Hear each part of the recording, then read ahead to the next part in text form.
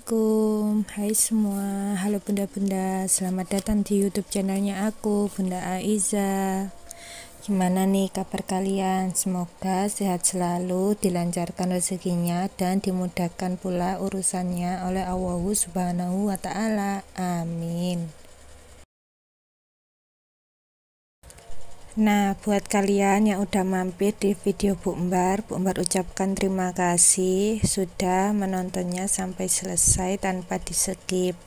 Dan Bunda juga minta support dari bunda-bunda semua untuk YouTube channelnya Bu Embar dengan cara like, komen, dan subscribe. Dan juga nyalakan lonceng notifikasinya biar nggak ketinggalan video-video selanjutnya. Nah, di video kali ini ini bukan Bu Embar ya yang masak, tapi Pak Su. Karena seperti yang Bu Embar bilang kemarin di video, Bu Embar lagi mudi.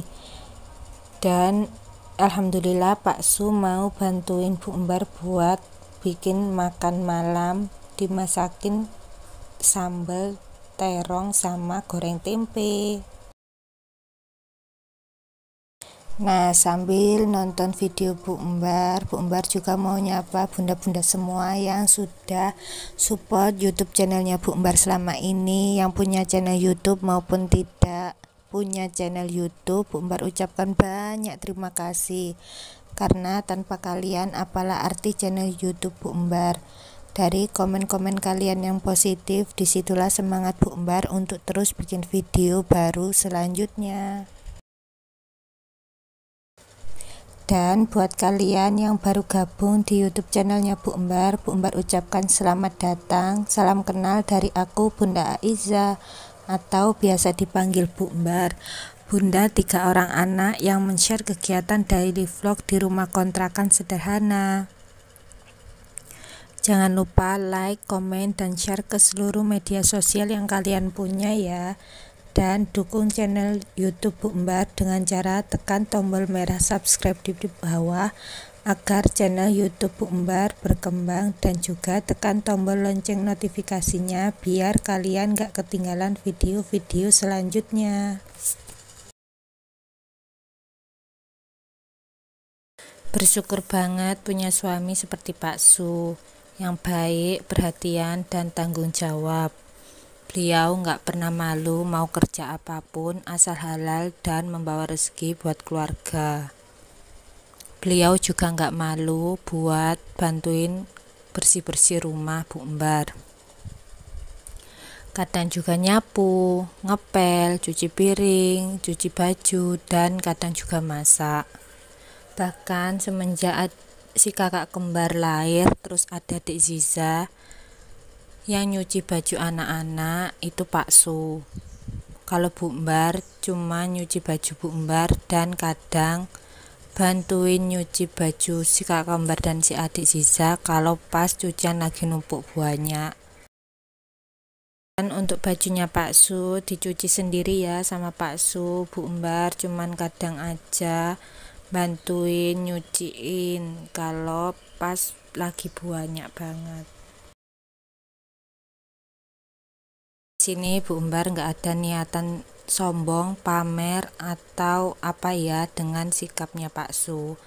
Karena dulu Bu Embar juga merasa kenapa Pak Su nggak bisa romantis, nggak bisa ngasih coklat, bunga, puisi, tapi lama kelamaan Bu Embar sadar karena cara perhatian seseorang itu berbeda-beda. Ada yang diungkapkan dari ucapan seperti gombalan-gombalan gitu ya. Ada juga yang dilakukan seperti lewat tindakan seperti Pak Su yang mau dan gak malu untuk melakukan aktivitas bersih-bersih rumah. Ini tuh sengaja ya bikin sambelnya banyak sekalian. Karena yang suka sambel itu kan Bu Embar dan minta tolong aja sekalian sama Pak Su buat disambelin karena sambelannya Pak Su menurut Bu Mbar lebih enak daripada bikinan Bu Mbar Alhamdulillah menu makan malam hari ini udah jadi ya. Sekalipun cuma sambal tapi dilakukan dengan penuh cinta nah seperti yang Bu Umbar bilang tadi di awal ya Bu Umbar kan lagi mudi tiba-tiba ini jam 8 malam Bu Umbar pengen buat pisang goreng crispy. Entahlah Bu Mbar ini moodnya lagi nggak karu-karuan mohon dimaafkan ya.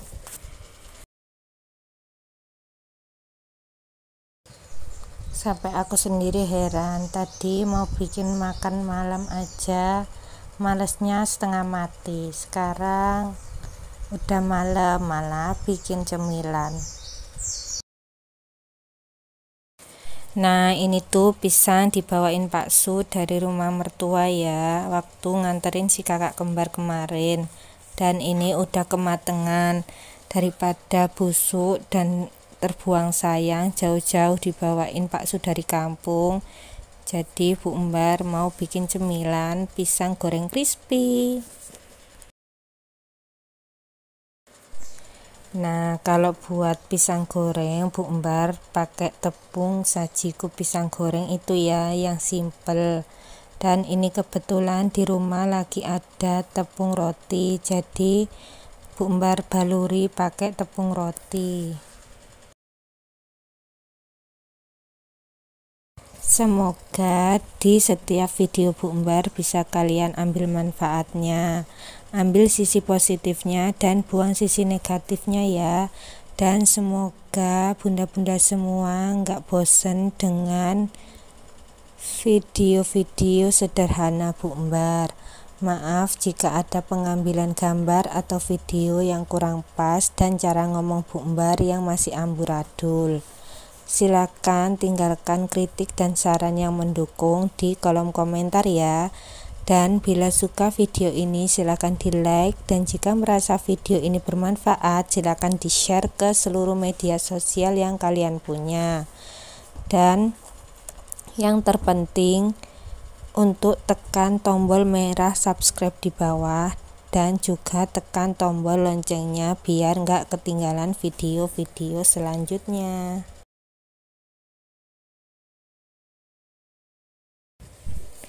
Nah, buat kalian yang sudah nonton video Bu Embar sampai detik ini tanpa di skip, Bu Embar ucapkan banyak terima kasih. Semoga kebaikan kalian dibalas Allah Subhanahu wa taala. Nah, setelah dimasukin ke adonan basah tepung sajiku Bu Embar masukin ke tepung roti lalu dikocok-kocok ya dan ini tuh Bu Embar niru cara emak Saufa kemarin yang masak bikin jamur crispy. Ternyata gini ya biar tangannya nggak belepotan dari tepung basah ke tepung keringnya. Nah kalau bunda-bunda semua di rumah bikin pisang gorengnya resepnya dari tepung terigu ditambahin apa aja boleh dong share di kolom komentar ya. Kita sama-sama belajar biar Bu Umar juga makin tahu resep-resep pisang goreng dari bunda-bunda semua. Ini tuh pisangnya cuma setengah yang Bu Umbar goreng ya karena udah malam. Nah masih ada setengah lagi yang belum digoreng Mungkin bunda-bunda semua punya referensi atau resep lain buat olahan dari pisang. Silakan di komen juga ya biar Bu Embar punya banyak kreasi olahan dari pisang.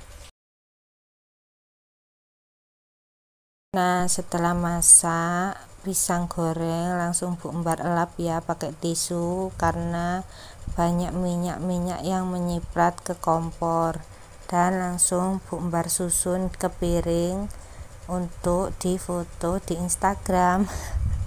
Maafin Bu Embar ya yang receh ini dikit-dikit apa juga difoto dan dipost di Instagram. Nah sebelum di foto dan di post di Instagram Bu Umbar mau tambahin parutan keju ya ini tuh bisa kalian tambahin meses ataupun susu coklat sesuai selera ya nah alhamdulillah udah jadi cemilan sambil ditemani kopi Oke, cukup sekian video Bu Umbar hari ini. Semoga ada manfaatnya dan jika ada salah kata mohon dimaafkan ya. Bu Umbar akhiri dengan wassalamualaikum warahmatullahi wabarakatuh. Sampai jumpa di next video.